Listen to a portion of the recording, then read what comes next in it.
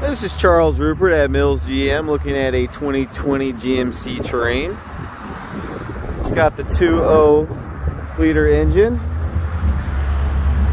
Does have passive entry with surround vision. Has power driving seat with memory seating.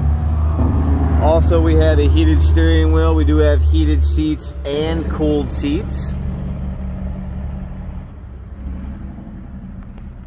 Beautiful black leather interior. Bose speakers.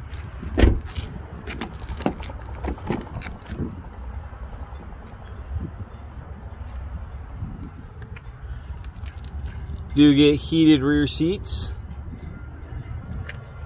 Does come with a nice roof rack. Powered liftgate. With trailering package.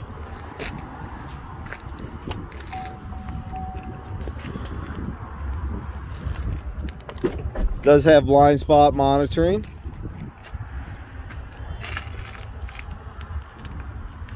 Once again, this is Charles Rupert at Mills GM in Baxter, Minnesota.